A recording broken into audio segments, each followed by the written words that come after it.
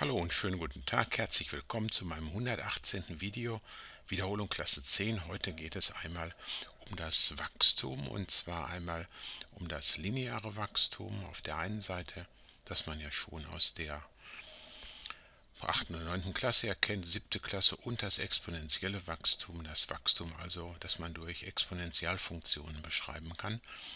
Dazu werde ich heute im ersten Teil ein paar Beispiele vorrechnen, ein paar Sachen vormachen, ein paar Dinge erklären. Es geht los und zwar seht ihr schon an der Überschrift Wachstum einmal linear. Wir schauen uns erstmal an zwei Beispielen das lineare Wachstum an. Ihr seht, das ist übrigens ein Tipp von mir, wenn es um solche Aufgaben geht, immer eine Werttabelle.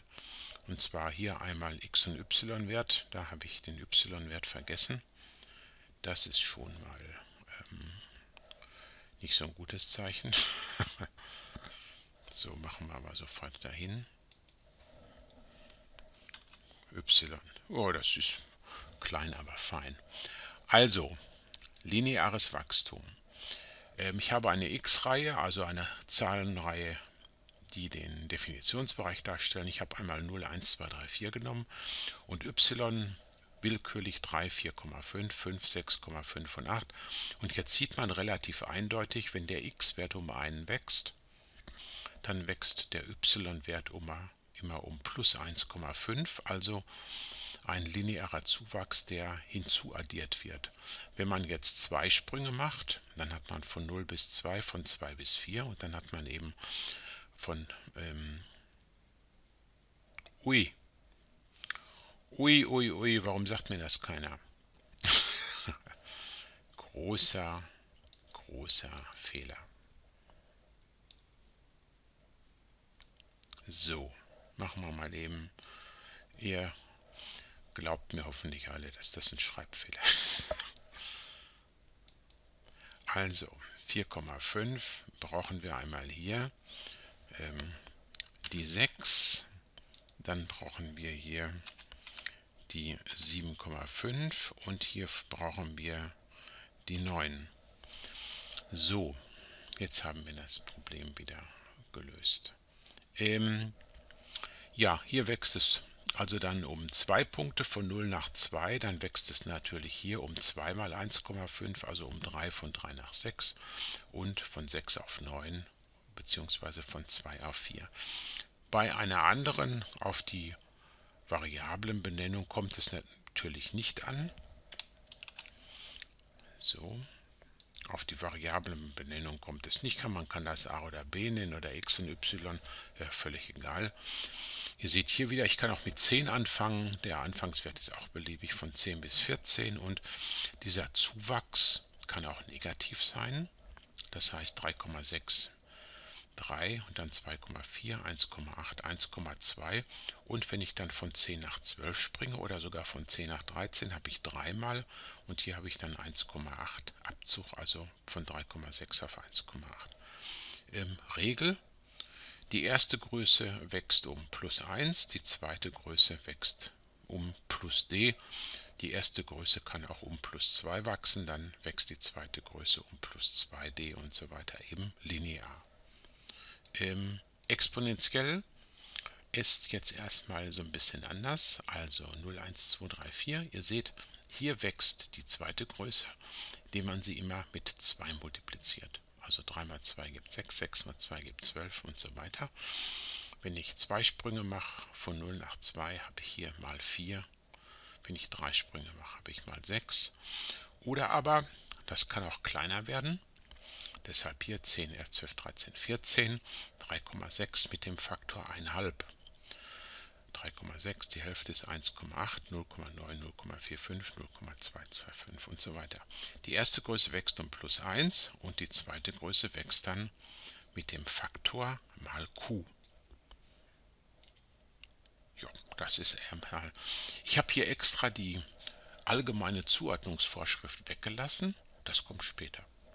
Wir machen da mal ähm, ein Beispiel. Ne, wir machen da mal, ich erkläre mal mehrere Beispiele. So ist das, glaube ich. Lineares oder exponentielles Wachstum entscheide mit Begründung. Die Begründung ist relativ einfach. Man guckt sich zuerst den x-Wert an. Ihr seht, der wächst immer um plus 1. Und jetzt schaut man sich an, wie wächst der y-Wert. Hier sind es offenbar immer plus 4. Also habe ich ein lineares Wachstum. Die eine Größe wächst um plus 1, die zweite Größe wächst um plus 4. Schauen einmal weiter. 0, 1, 2, 3, 4 ist immer plus 1 und hier von 8 auf 24 mal 3. Ich könnte jetzt auch natürlich sagen plus 16. Ja, 16 plus 8 ist 24, aber 24 plus 16 ist nicht 72. Also plus 16 passt hier nicht. Es muss ja immer der gleiche Summand sein, der da auftritt. Also probiert man es mit mal. 8 mal 3 ist 24 oder 24 geteilt durch 3 ist 8. 72 durch 24 ist 3. 216 durch 72 ist 3 und 348 durch 216 ist auch 3 mal 2 6, 8 mal 3. Also haben wir hier die eine Größe wächst um plus 1, die andere mit dem Faktor mal 3 dann ist das exponentiell. So, schauen wir uns das dritte Beispiel an. 3, 4, 5, 6, 7 plus 1 von 2 nach 1 ist mal 1,5 und von 1 nach 4 ist mal 4. Also ist das schon mal nicht exponentiell. Jetzt versuchen wir es mal linear. Von 2 nach 1 ist minus 1 und von 1 nach 4 ist plus 3. Also ist das auch nicht linear. Das ist weder exponentiell noch linear. So als typische. Und dann machen wir noch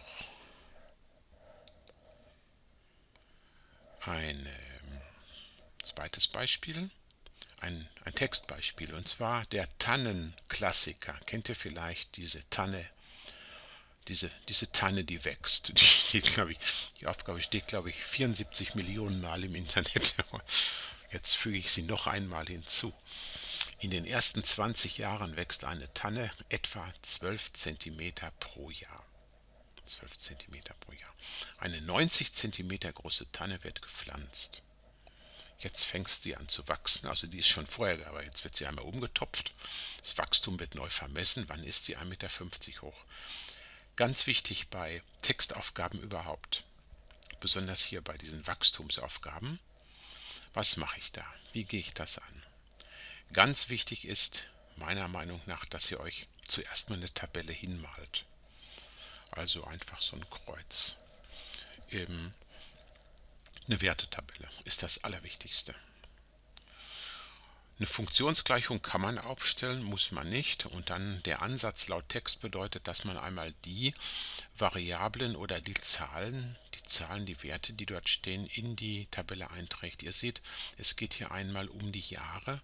Da habe ich hingeschrieben, x sei die Anzahl der Jahre und y sei die Höhe in Zentimetern. Denn die Höhe ist hier abhängig von den Jahren.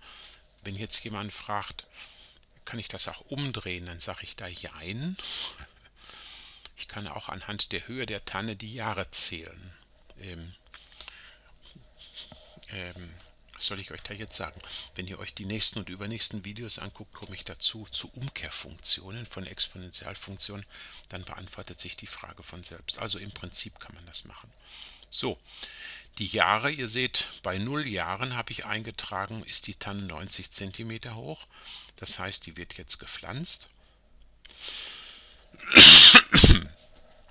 Dann geht es los nach einem Jahr. Sie wächst ja jedes Jahr um 12 cm. Nach einem Jahr ist sie 1,2 Meter. Nach einem weiteren Jahr ist sie 1,14 Meter. Nach einem weiteren Jahr ist sie 1,26. Ihr seht, die x-Werte sind immer plus 1, die y-Werte plus 12. Das heißt, wir haben ein lineares Wachstum. So, lineares Wachstum ist eine lineare Zuordnung. Die kennt ihr aus der achten Klasse. y gleich mx plus n. Was mache ich nun? Ähm, Im Prinzip setze ich einfach hier die Punkte ein. Da ich zwei Variablen, zwei Größen bestimmen muss, nämlich das m und das n, muss ich auch zwei Punkte einsetzen. Ich wähle zuerst 0 und 90 und dann 1 und 102. Ähm, ich hätte auch zwei andere Punkte wählen können. Das ist egal. Bei 0 und 90 ist es besonders schön. Da seht ihr hier, der x-Wert ist 0 und ich weiß sofort, dass das n 90 ist. Und der zweite Punkt ist 1 102. Da habe ich hier für y 102 eingesetzt. m kenne ich nicht. Der x-Wert ist 1 und 90 kenne ich oben aus der Gleichung. Und dann kriege ich m gleich 12 raus. 102 minus 90, also habe ich die Gleichung y gleich 12x plus 90. So, bis dahin, das war der erste Teil. Der zweite folgt sogleich. Ich bedanke mich fürs Zuhören, fürs Zuschauen und sage Tschüss, gleich bis zum zweiten Teil.